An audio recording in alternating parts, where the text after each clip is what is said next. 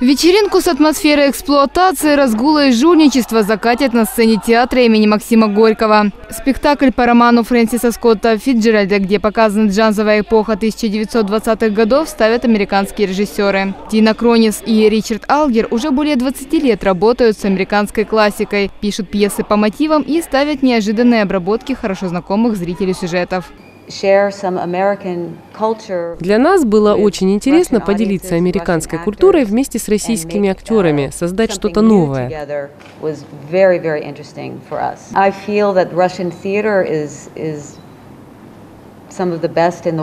Я считаю, что русский театр один из лучших в мире, поэтому возможность работать в этом прекрасном театре – честь для нас. It's a great honor and a great opportunity.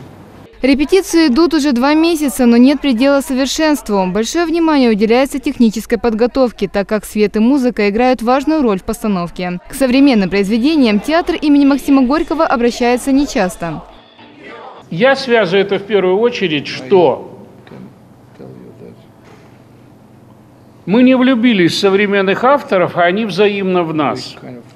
Те, которые сегодня по-прежнему, может быть, есть целый ряд драматургов, которые были бы украшением театров, но для меня по-прежнему остались Володин, авторы и Арбузов.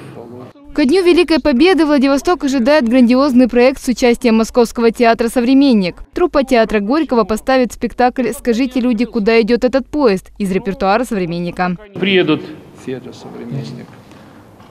декорации театра «Современник», Брусникина Марина, постановщик спектакля, это, значит, который здесь будет показан, играют наши артисты, потом приезжает труппа э, театра «Современник», играет в этих же декорациях, в этих же костюмах свой спектакль, этот же, который сейчас идет на сцене театра «Современник», и потом мы попробуем сделать микс.